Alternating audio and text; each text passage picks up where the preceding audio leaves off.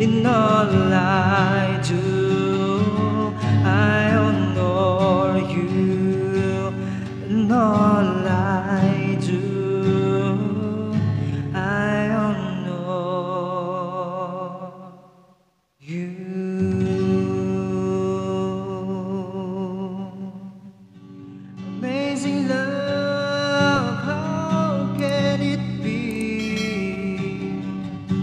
That you, my king, will die for me?